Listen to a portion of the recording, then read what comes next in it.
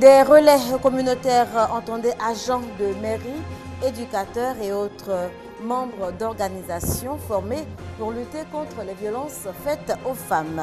Plusieurs interventions enregistrées dans la nuit du 24 au 25 décembre 2013 par les sapeurs-pompiers. Nous ferons le point dans ce journal. Nous parlerons également de la situation qui prévoit en ce moment au sud de Soudan, situation très peu réluisante malgré le début de médiation entrepris hier par les États voisins.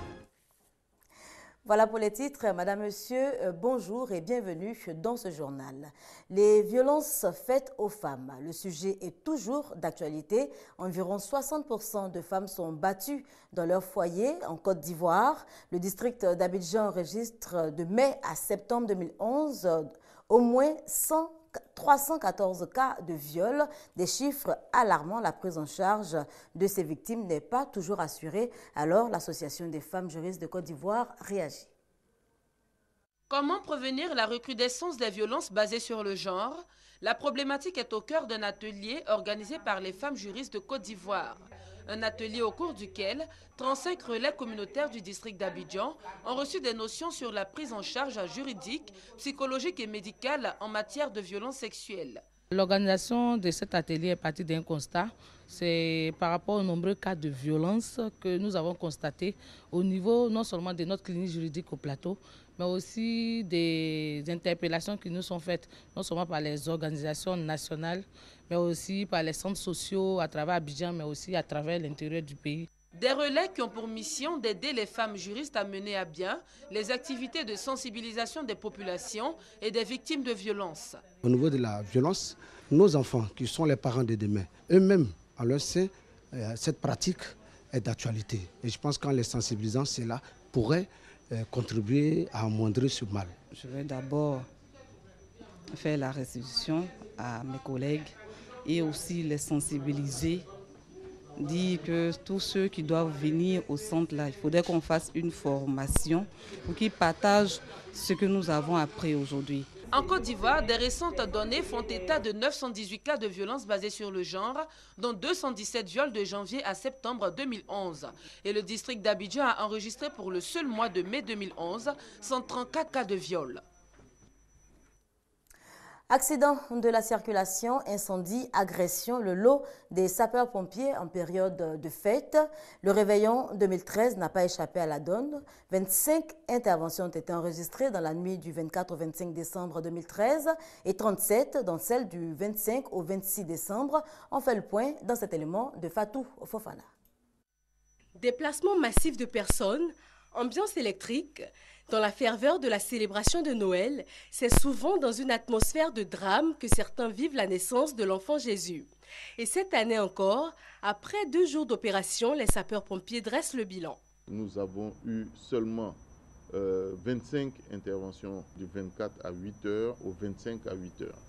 Par contre, la journée du 25 a été très animée parce que nous avons fait environ 40 interventions. Notre moyenne journalière est de 30 interventions. Les faits saillants qui ont eu à se produire euh, dans cette journée, nous avons déploré un accident de circulation qui a occasionné 17 victimes sur euh, la route du zoo. Ensuite, une personne s'est retrouvée coincée dans la zone de, de Vridi sous des billes de bois. Si ces statistiques révèlent l'allure du réveillon 2013 à Abidjan, à l'intérieur du pays, grâce aux efforts du gouvernement, notamment avec la construction du centre d'urgence et de secours sur la nouvelle autoroute Abidjan-Yamsokro, les pompiers ont été moins sollicités. Les interventions Boaké, c'est généralement des problèmes de motocyclistes, de cyclistes renversés, euh, très souvent, ce sont des interventions mineures. Des dispositions s'imposent donc pour les fêtes du 31 décembre et du 1er janvier. Nous demandons aux uns aux autres beaucoup de calme et de retenue, de la retenue surtout, parce que très souvent, nous remarquons que les accidents qui se produisent sont le fait euh, d'inattention ou d'excitation excessive. Dispositif de veille impressionnant, Des soldats du feu en alerte, le lieutenant-colonel Sako Issa et ses hommes sont prêts en vue de parer à tout sinistre, pourvu que chacun prenne ses précautions en cette fin d'année. Intéressons-nous à présent à cet atelier sur la diversité des expressions culturelles, atelier organisé jeudi dernier par le ministère de la Culture de la Francophonie. On en parle avec Patricia Omo.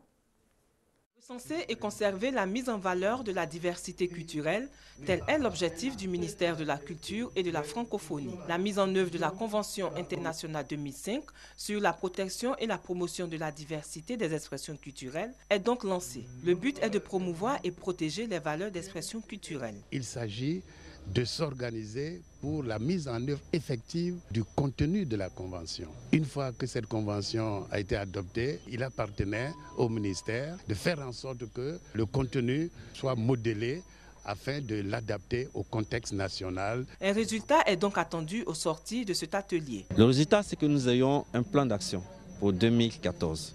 Donc nous allons ensemble avec le ministère organiser un certain nombre d'activités qui rentrent dans le cadre de la mise en œuvre de la Convention 2005.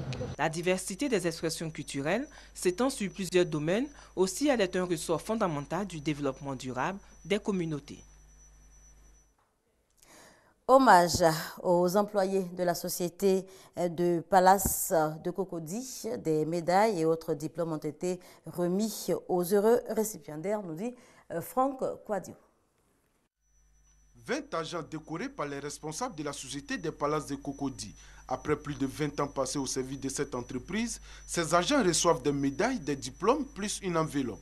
Les responsables entendent ainsi traduire leur reconnaissance à ces agents qui de jour comme de nuit ont mis leur expérience et leur expertise au service de la société. Des Ivoiriens et des Ivoiriennes y ont passé 15 euh, à 30 années de leur vie dans nos maisons. Et donc, euh, nous pensons qu'il faut les célébrer, qu'il faut leur rendre hommage euh, pour tout le service rendu à la maison et à la nation. Une distinction forte appréciée par le représentant des récipiendaires qui encourage les plus jeunes à plus d'abnégation au travail. Aux plus jeunes qui viennent à l'entreprise, on leur souhaite la bienvenue et de faire comme nous, de tenir l'entreprise, parce que malgré la virtuosité de la maison, on a tenu, on a géré la maison jusqu'à aujourd'hui et nous en sommes fiers. Parents, amis et enfants, tous disent être heureux de cette reconnaissance. Mon mari, il est très merveilleux, donc je sais qu'il est très bon dans son travail.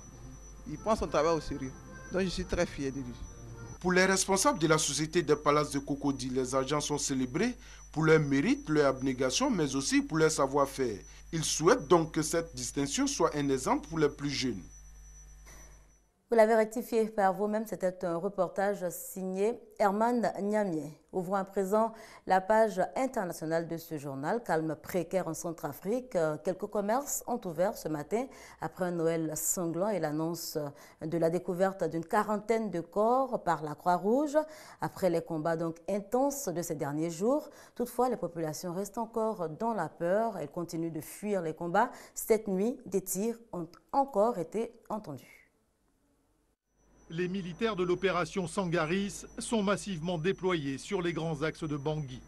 Le but Décourager la reprise des violences entre différents groupes armés qui sévissent dans les quartiers. Comme ici, où la population a fui à la recherche d'abris plus sûrs. Mercredi, la capitale a connu un nouveau pic de violence. C'est très dangereux. Toute la journée, des tirs d'origine indéterminée ont semé la panique. Cinq soldats du contingent tchadien de la force africaine ont été tués dans le quartier Gobongo. Par centaines, les Banguissois ont rejoint les camps de déplacés déjà surpeuplés. Ici, n'importe comment, si n'importe qui, je ne peux pas rentrer à la maison. Je ne peux pas rentrer à la maison. S'il y a la sécurité, d'accord. Sinon, je ne peux pas. Même si pour faire un an ici, c'est bon pour être tranquille. Près du tiers des 800 000 habitants de Bangui s'entassent désormais dans ces camps et rien ne laisse espérer une amélioration de la sécurité permettant de retourner au quartier. Au Soudan du Sud, la médiation entamée hier par le président kenyan Oro Kenyatta et le premier ministre éthiopien n'a pour l'instant pas donné de suite favorable. Sur le terrain, les combats se poursuivent. L'ONU annonce l'arrivée prochaine de 6 000 casques bleus pour sécuriser le pays. Des corps abandonnés en pleine rue. La ville de Bor, dans l'état du Jonglei, porte les stigmates d'intenses combats. Les troupes sud-soudanaises viennent de reprendre la cité aux rebelles qui l'occupaient depuis une semaine. Pendant le siège, 17 000 civils terrorisés ont cherché refuge auprès du centre gardé par les casques bleus. À l'intérieur même du centre, les rebelles en personne sont entrés avec leurs armes. On a alors demandé aux soldats de l'ONU de nous protéger. La ville était tombée aux mains des fidèles de Riek Machar. Le vice-président limogé en juillet est entré en rébellion après avoir été accusé de coup d'État le 15 décembre dernier. Mais pour le maire de Bord, ces violences politiques tournent au règlement de compte interethnique. Ce qui s'est passé dans cette ville n'a rien à voir avec la tentative de putsch. Ces gens sont venus ici pour en tuer d'autres. C'est de la purification ethnique. Les tensions s'exacerbent entre l'ethnie Dinka du président Salva Kiir et l'ethnie Nouer de son rival Riek Machar. Les deux hommes ont toutefois accepté le principe de pourparler, mais sans fixer de date. Or, il y a urgence, s'alarment les pays voisins. L'Éthiopie et le Kenya ont tenu ce matin à Djouba un mini sommet de crise avec le président Salva Kiir. Parmi les problèmes dont nous avons discuté, il y a premièrement la cessation des hostilités et deuxièmement le début immédiat de pourparlers ou d'un dialogue pour régler cette situation politiquement. Une première tentative de médiation sous-régionale a échoué la semaine dernière. Depuis, le conflit s'est étendu. Les combats touchent à présent la moitié du Soudan du Sud. Et les nouvelles ne sont pas non plus bonnes en Ukraine. Les agressions physiques contre deux opposants, dont une journaliste, attisent les tensions depuis jeudi dans le pays. En pleine contestation du choix du pouvoir ukrainien de se tourner vers Moscou plutôt que vers l'Europe, des agressions contre deux militants sont venues attiser la colère de l'opposition. Dans la nuit de mardi à mercredi, la journaliste Tetiana Chornoville, au volant de sa voiture, a été attaquée par des inconnus. Filmée de l'intérieur de son véhicule, ces images montrent une queue de poisson à laquelle elle tente d'échapper en faisant marche arrière. Peine perdue, elle est rattrapée et sauvagement tabassée. Une jeep me suivait et essayait de m'emboutir. J'ai sauté hors de ma voiture et j'ai couru pour leur échapper. Mais ils m'ont attrapé et se sont mis à me battre. Nez cassé, commotion cérébrale et multiples traumatismes, Tetiana a dû être hospitalisée. Pour la contestation et son entourage, elle paye ainsi ses activités militantes. Outre ses papiers très critiques à l'égard du président Yanukovych et la corruption, elle avait passé la journée de mardi à porter la contestation jusqu'au domicile du ministre de l'Intérieur, allant jusqu'à écrire sur sa porte « bourreau ». L'information ainsi que celle concernant un autre militant pro-européen poignardé lui aussi par des inconnus a aussitôt fait le tour de la place Maïdan où les opposants campent depuis maintenant un mois. J'ai vu à la télé ce qui s'est passé. C'était très violent. Ce n'était pas du hooliganisme, c'était une tentative de meurtre.